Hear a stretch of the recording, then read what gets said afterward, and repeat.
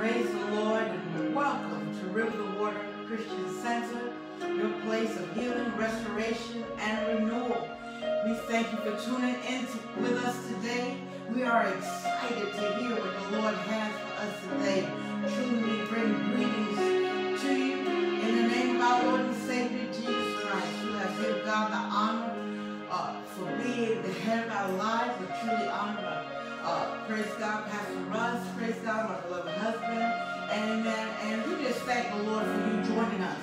We want you right now to just share this time. Just, just uh, share with, just, just tune in, this broadcast with someone else right now as you tune in. We're going to go before the throne of grace. And we're going to ask that you just continue to put your prayer requests on the screen. One of the things we like to do here is to make sure that uh, you and submit your prayer request. Amen. Submit your prayer request in. Uh, so at the end, we will continue to pray for you. We thank God because He's a miracle working God. There have been some testimonies, amen, of breakthroughs. There's been some testimonies of miracles that has happened just this past week. We want you to be encouraged, people of God, and know that God, amen, has a word for you and He has answers for you today in the name of Jesus. Hallelujah. Let's go before the Lord. Father God, in the name of Jesus, as we pray, we're asking you even right now, Lord, Lord God, to look upon those that are tuning in, Lord God.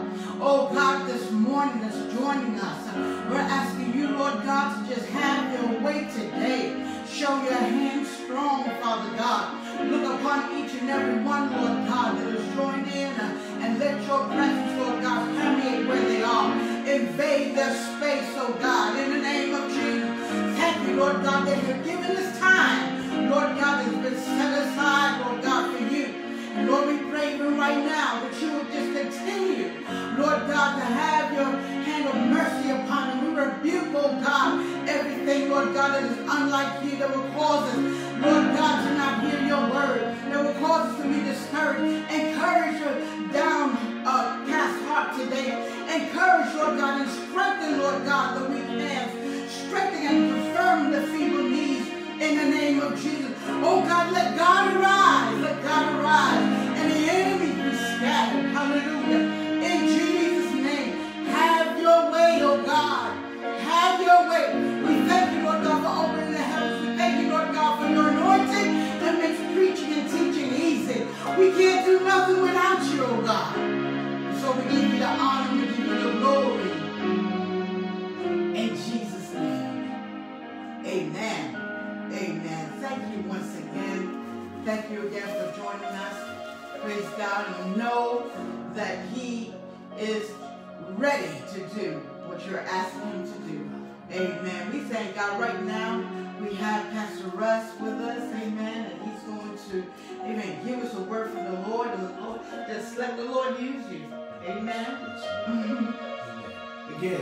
Morning, good afternoon, good evening, as one preacher uh, we like used to say all the time. But we just thank God today that this is the day that the Lord has made, and we shall rejoice and be glad in it.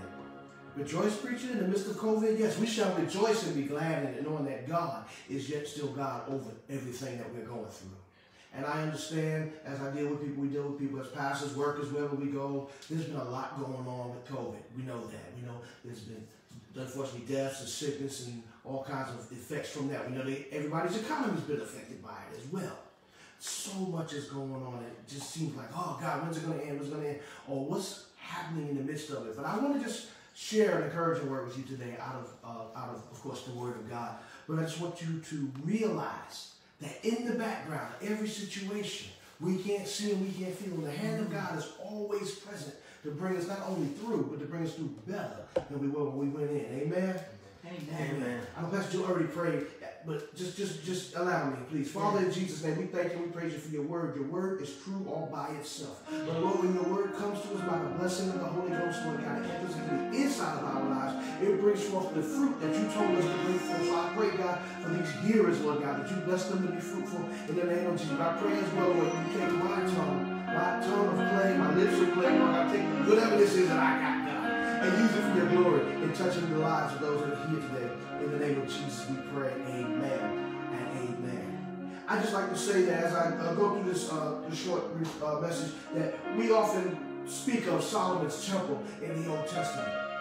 Solomon's temple is often referred to as like a prototype, if you will, of the Christian church. So we're going to review some things out of about Solomon's temple to uh, allow us to see the process and the purpose that for that temple also fits into what we're doing. In fact, when I finish, I hope that this word will be kind of like that honey that Jonathan found at one time in the midst of the battle. Everybody else was weary and weak because of what they were going through, like some of us are going through right now. But Jonathan was able to taste that honey and receive uh, uh, such a blessing of increase and enlightenment in the midst of that. So I just want that to be for you today, all right? So join with me today. Let's look in the Word of God. Let's live. Let's taste and see that the Lord is Good. Good. I knew somebody else was here to say amen. Praise the Lord.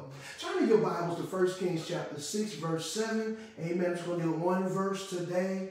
And I want to say, while you're turning, that we often think of the temple, we are the temple of God, we often think as our individual body being a temple, but let us re be reminded that besides the verse I'm going to share here, uh, somewhere in the scripture, it tells us that we are living stones, we are lively stones.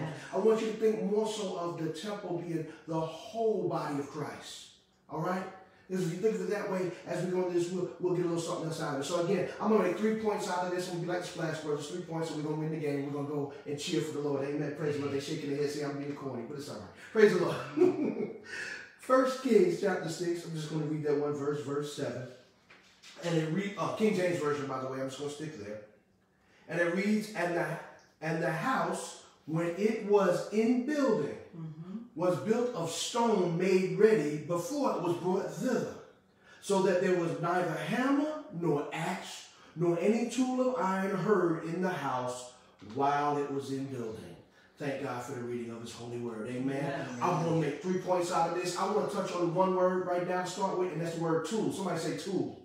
Tool. Tool. All right. A tool, I'm not going to get real deep in Webster's meaning, but in looking around some definitions, this is what I pulled out for a tool. A tool is something used to prepare for use. That is, a tool is something you use to prepare something else for the use that you have created for, or that you have in mind, okay? Amen. So it says in the scriptures that uh, there was neither hammer nor tool heard in the house, but let me, let me deal with something else. It's clearly in the scriptures that the work was done outside of the house. Let me just share uh, uh, just two uh, examples to see where I'm going. Uh, as we should know, in case you've forgotten, you see people in your space and in your face. You see situations arising to, to try to pull you down and to make you feel unworthy, make you feel disgraced, the whole nine yards. Those are just uh, things in the atmosphere that seemingly, seemingly have no uh, real reflection of God. Let me just show you something right quick.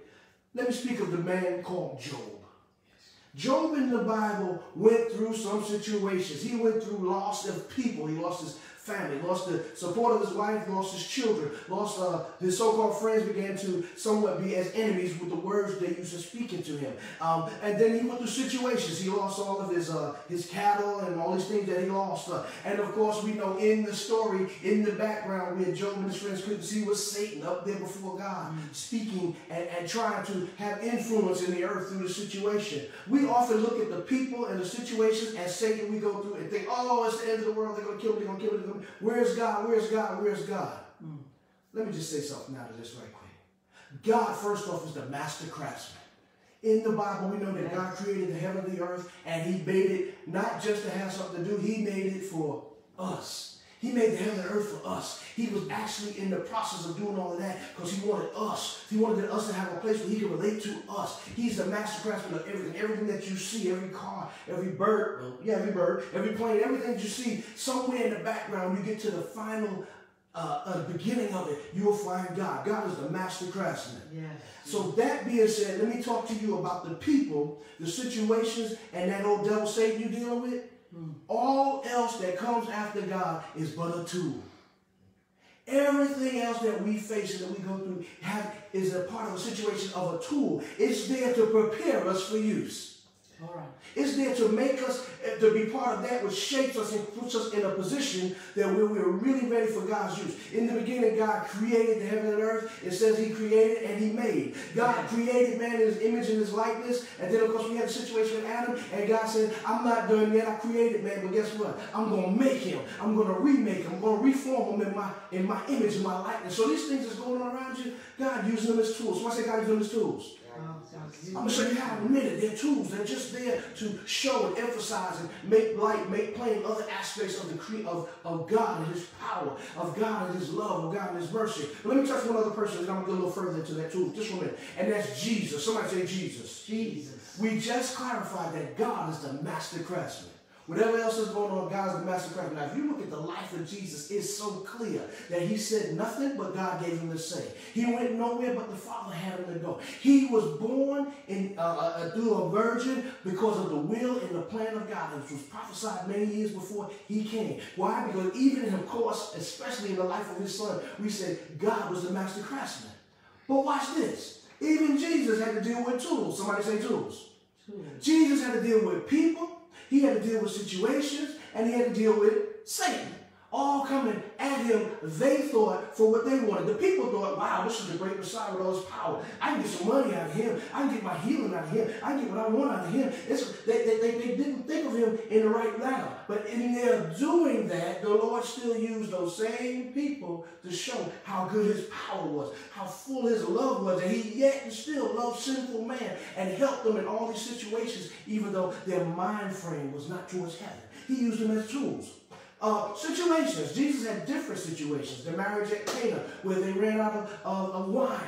That was not a bad situation that just happened and Jesus just happened to be there. No, the Father used that situation as a tool to show just how much care and concern he had for the one that was getting married and the governor of the marriage, that they would not be embarrassed because things didn't go right. He just wanted to show that his power was so great, he could take simple water, thank you, I'm take a sip, and make it the wine. No, he did not take grape soda and make it the wine. He didn't take something else that already had man's hands on it and change it. He took something that was already divinely created in one state, and then he came behind it and he made it something else. It was just a tool. I said all that to say this, that Jesus, God was the master craftsman and all else was tools, but the purpose of all of that was that Jesus being here was uh, to, to show that he was the redemption yeah. for all who would receive it. His life, everything he went through, showed that he was our Redeemer. So I say our Redeemer. Our Redeemer. So just keep that in mind that our Creator is allowing us to go through these certain things that we go through that will be a testimony of God's goodness. Job in the end was a perfect testimony of God's goodness. After mm-hmm. all that he went through, when God blessed, he was more blessed in every aspect of his life at the end than he was in the beginning. So much so that he didn't have to turn around and bless his friends. My friend, whatever you're going do, continue to trust God and He'll bless your friends. But as well, remember that all the things that Jesus went through was just simply as our Redeemer for all those that receive it. So let me just move on just a little bit more to let you know that everything that you're going through, COVID and everything else, don't think of it as your death. Think of it as just a tool. Let me go a little further. Because the Creator is making your testimony as a tool. Again, in this verse, uh, verse uh, 7 of verse of chapter 6 of First Kings, it says in there, I find my place. Just so happened this verse was right in the middle of a, page turn. And the house when it was in building was built of stone made ready before it was brought thither. Somebody say made ready. Made ready. The word made ready, I ain't gonna get deep in Webster, but I'm just gonna throw a little couple words out there. Made ready means complete. Mm-hmm. That these stones were made complete. Now, when you think of complete, I want you to look at it this way. These stones, the way they created buildings back then, the way they built such things as the pyramids and various other things, they prepared them elsewhere. That's what it says in the They prepared elsewhere. Watch how they prepared. First, they dug in the earth to where they found the granite or the marble or whatever they're working with and they cut it out in a piece that was close to the size of what they wanted. That is, they took a complete piece. They didn't take pieces of marble and put them together. No, they took a complete piece first to start with and put that on wherever they were going to work with. Somebody say complete. Complete. But when they had that complete piece, it wasn't going to be completely ready to go to that tabernacle and be made to fit with everything else until it was made ready. Made ready, another meaning for made ready, blew my mind when I looked it up in the Greek, in the Hebrew, excuse me, was friendly. And I said, how in the world do you make concrete friendly? Or how do you make these slabs friendly? Simply this, as they were pulled out complete, they had angles and, and ridges and stuff like that. They were not in, in an angle. Uh, Pastor Jill's right here. Watch this. Don't Stone Pastor Jill. I love it. Don't beat me up. If I come to Pastor Jill like this, this is a bad angle for us to be able to sit here and participate together, is it not? This is what happens as well as God was making those stones. They came out complete, but they were not friendly. They were not in a position where they could be joined together properly and build a thing for the Lord. Somebody say friendly. Watch this. So God takes him and he brings him out complete. Bam. Then he begins to knock off some of that hard angles to get them just the right angle so they're line upon line and precept upon precept, but they fit together. But then there's still something else that got to be worked out. God's making us ready. This is what he's doing. And this blew my mind. I'm looking up the word made ready in, in, in my little books, and it came up that the word made ready means peaceable. Somebody say peaceable. Peaceable.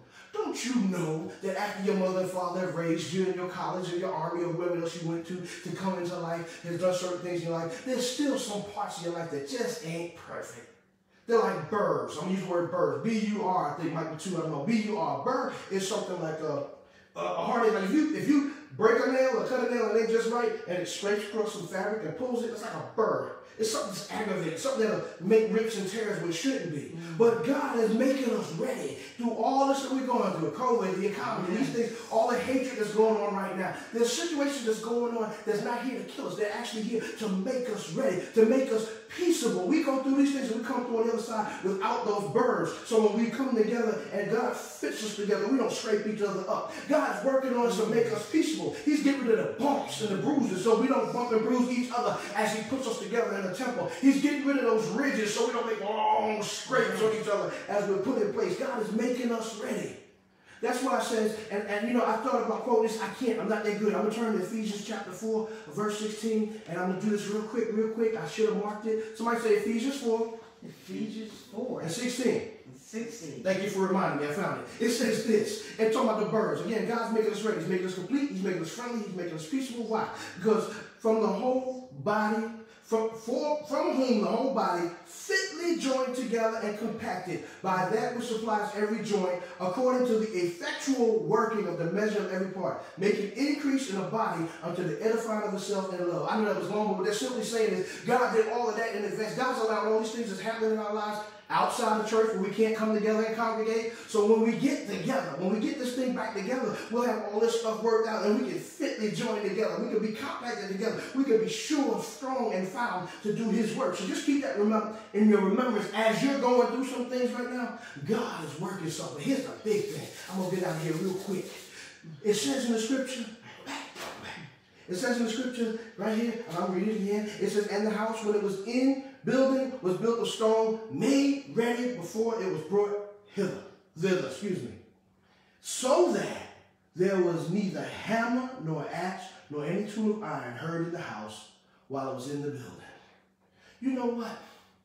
God has allowed all this stuff to go on while we're not in the house to prepare us, to get rid of all those times when He's going to hit us with the hammer and chisel. We're going to go, ow, in those situations we're going to go through with each other, when we talk to each other the wrong way, or certain things is going to happen. All that stuff happens to get us ready so when we get in the house of the Lord, this is what's going to happen. The only thing that's going to be heard in the house of God is his voice.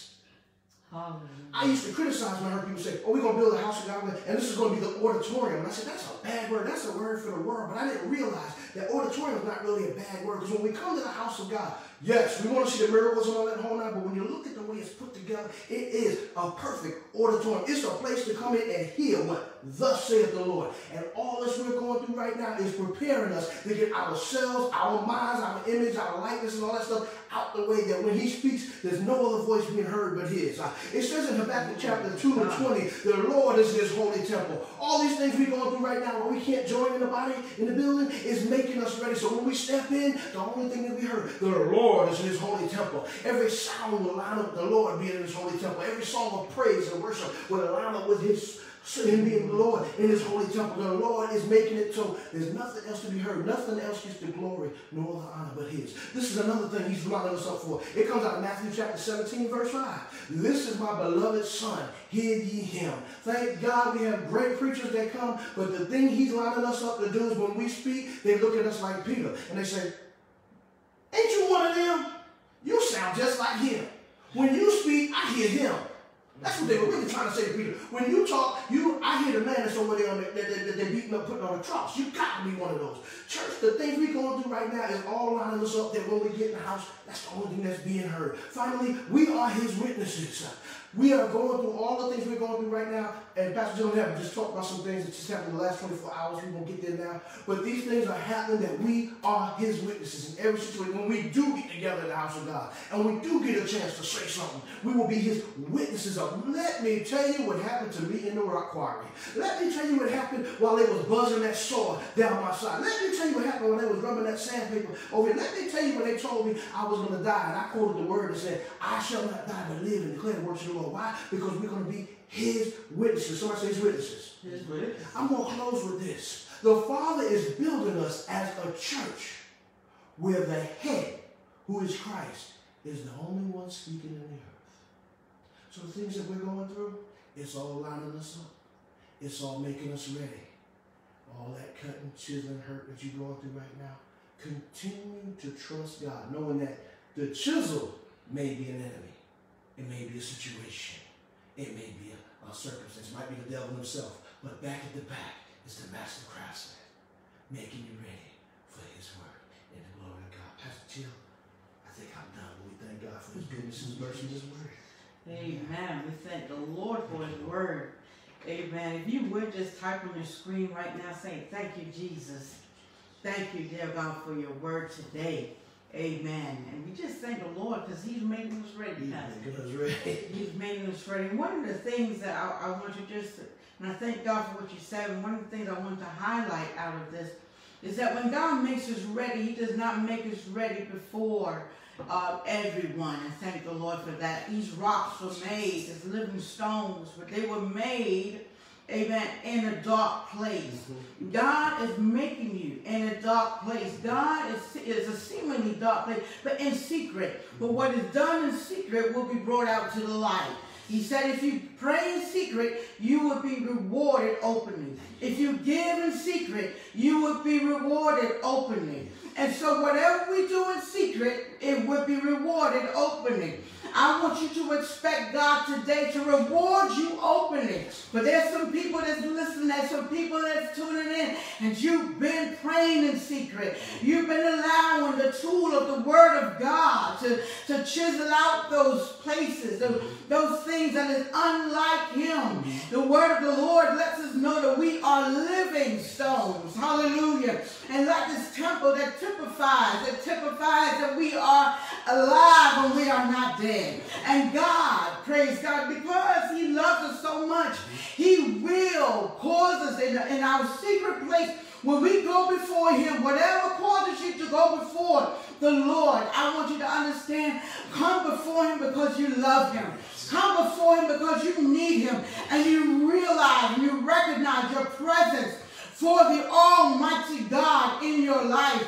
I want you to understand it's His love his tools that he uses of his word, his tools that he uses as his spirit to teach us. The word of the Lord lets us know that he loves that he loves those whom he chastised, mm-hmm. or rather he chastised those whom he loved. What kind of father, what kind of mother would look upon his son or daughter and see them going down the wrong way and not give them instruction and not give them a tool to help them along the way? My God, that is sad parenting. But I want you to understand we have a good, good father. I said we have a good, good father. Can you put that on the screen right now? I have a good, good father. Amen. And this good, good Father, He loves me. He loves you so much uh, that when it's time to present us, uh, when it's time to present you, whether it is in a congregation or an auditorium, mm-hmm. whether it is, however, amen, before a job, when it's time to present you, He'll present you, amen, the way He has made you, where God can get all the glory. No one can take the glory for this. Hallelujah. And the hammer and the chisel and all the noise of our crying, of our tears, of our even complaints. Sometimes, I don't know about you, but sometimes I feel like David, where he said, I poured out my complaint before the Lord. Is anyone complaining? I want you to understand, praise God, that when you complain to Jesus, you tell, tell him all about it. And he will hear your faintest cries. He'll answer by and by, but he'll answer now. Hallelujah. Expect the Lord, praise God, and allow him to be that tool. His hand is upon you. His grace is upon you. The Spirit of the Lord is upon you.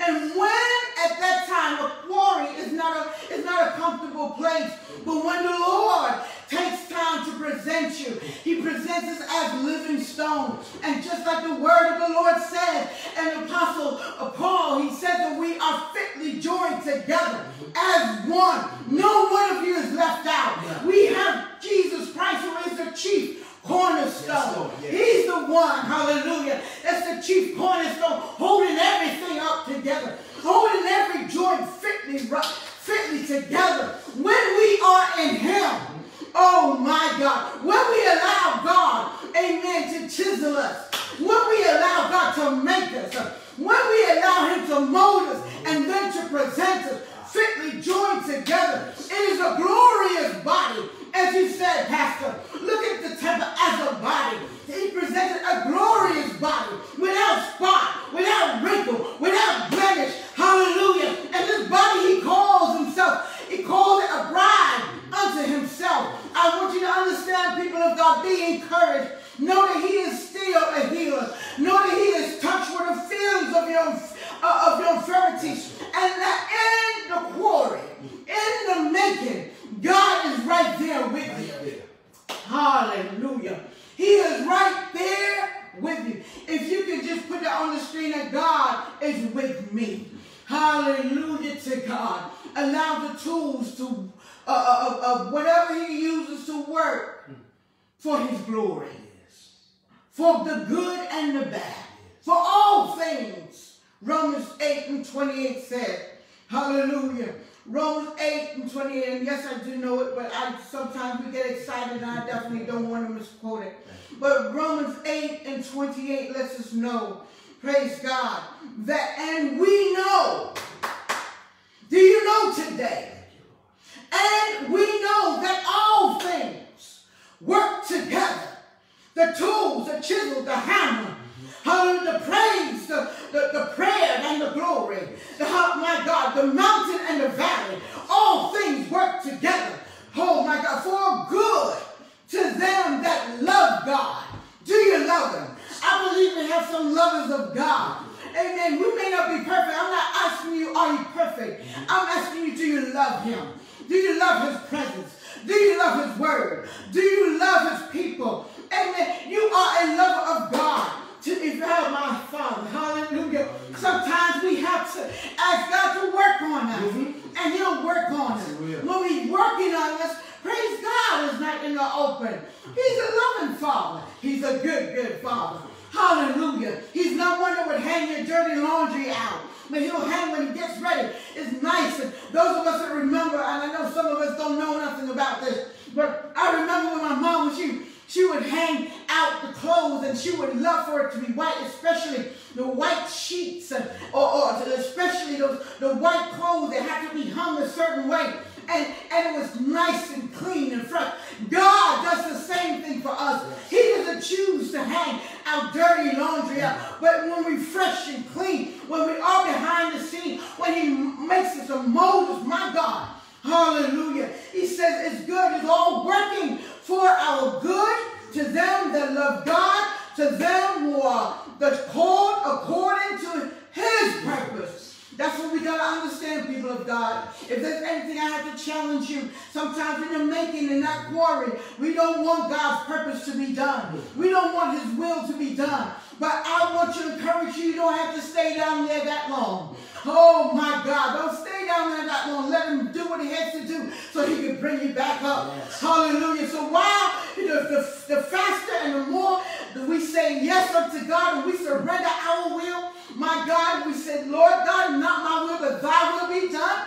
I want you to understand that his purpose will come to pass even quicker in our life. He said, for whom did foreknew, he also did predestinate to be conformed to the image of his son, and that he might be the firstborn among many brethren. Oh, people of God, I'm going to close with this. Praise God. Hallelujah. Nay, in all these things, we are more than conquerors through him that loved us.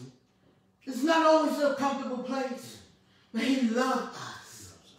Hallelujah. He loved us. For I am persuaded. Oh, if you are persuaded, I need you to put that on the screen. I need you to put, and because the Bible lets us know, amen, when we write, write the vision, write it down.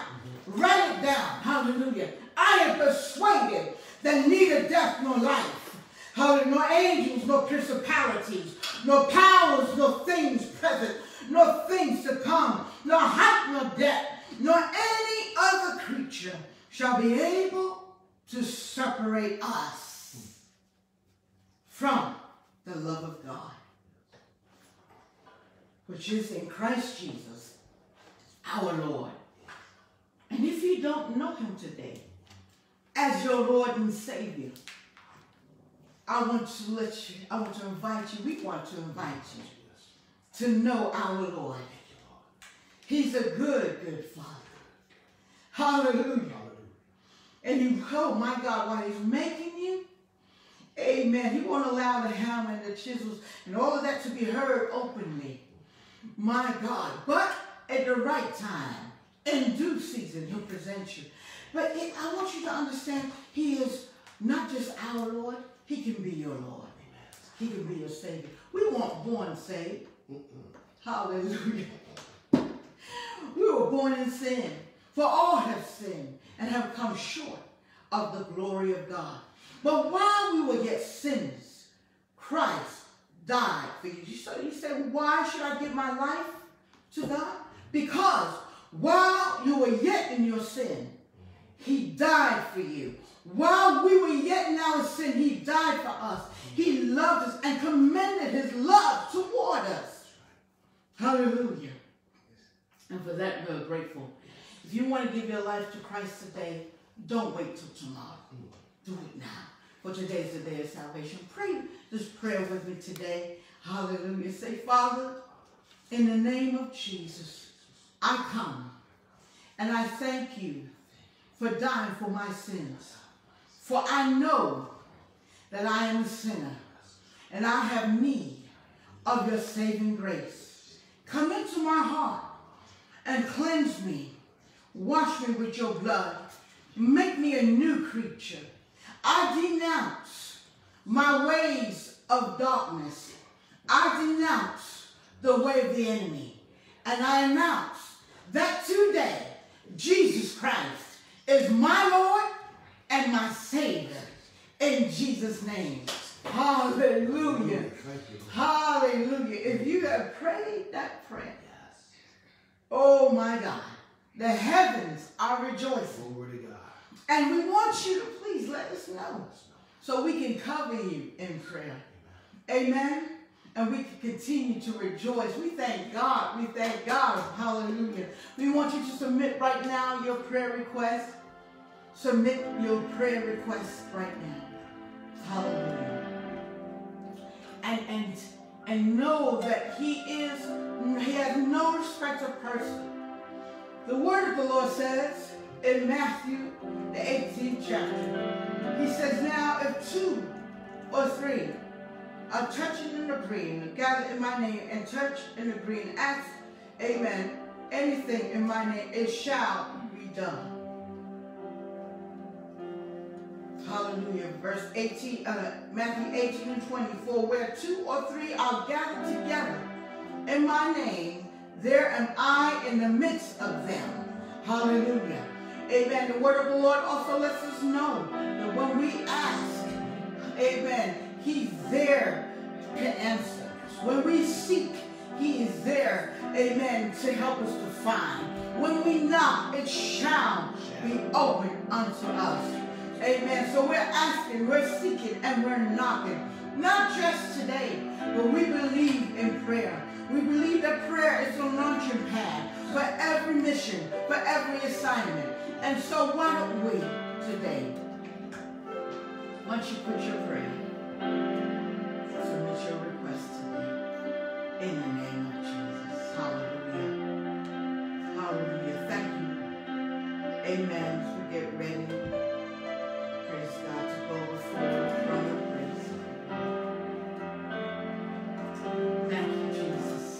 Hallelujah, hallelujah. Yes, Lord, yes, Lord.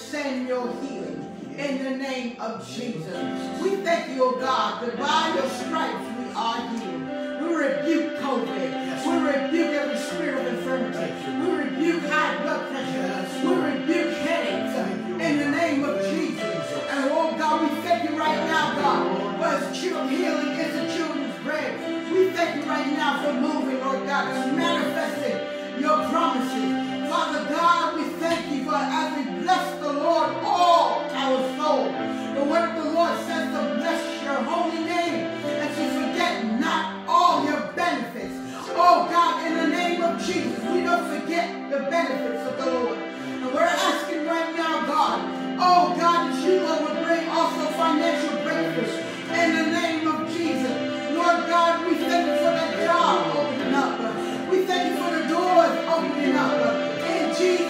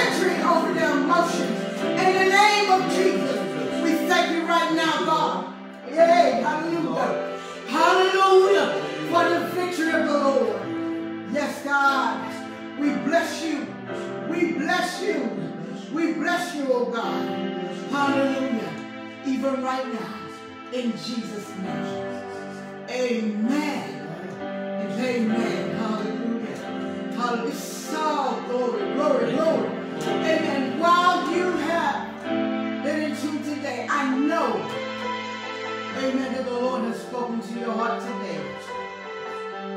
Sow seed. Here we sow on purpose. Mm-hmm. We sow with purpose.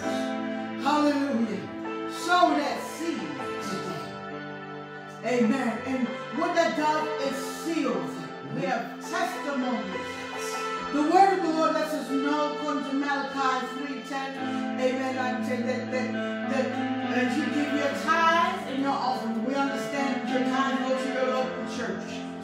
And as you sow your tithes and give your offering, that your tithes and offering, rebukes the does. Amen. We need to elevate our minds.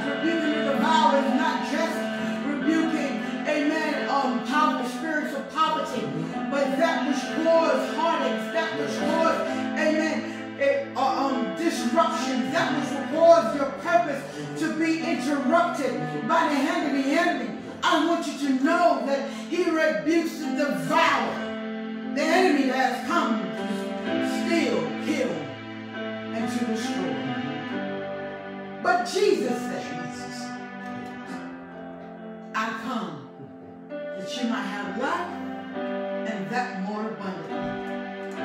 And so I believe that. Right now, amen, there are ways on the screen is put on there how you can sow, amen, into this ministry. If you want to put it in as an acronym and it's private, God knows. Hallelujah. Amen. Whatever it is, you write it and you seal it with a seed. Amen. Thank you, Jesus. We want you to continue to like and to share this video. Also join us at our YouTube page at Rivers of Water Christian Center, ROCC, and be blessed. We want you to also feel free, amen, to join us in prayer. We are praying, amen, church, and we want you to understand we're praying for you. Every Wednesday we have our Fresh Wind Bible study, and we have our 6 a.m. morning pursuit, amen, of His glory. We want you to understand, amen, that God has not forgotten you. Thank you so much. Thank you for joining us today. Hallelujah. And as we get ready, praise God, to, to, to we're going to see you next time. Amen. We thank you. God bless you. Bless you. In Jesus' name.